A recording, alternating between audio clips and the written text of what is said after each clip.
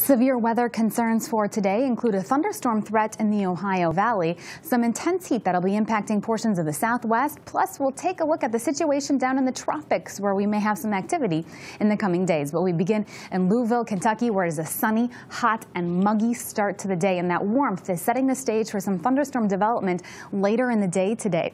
As a cold front comes sliding southward into the Ohio Valley, thunderstorms are likely, especially in these orange shaded areas where we have an enhanced risk for severe weather. Damaging wind, large hail, certainly a possibility, but thunderstorms are possible anywhere along that frontal boundary in those dark green shaded areas extending from the northeast through the central plains. So here's how that looks on the forecast.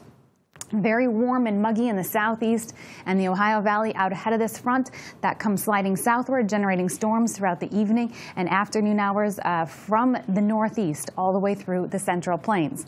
Across the west, there's no wet weather in sight to bring relief from the heat, and it is certainly getting hot. High temperature records may be in jeopardy today. A projected high of 122 degrees in Needles, California would break the previous record of 119 degrees.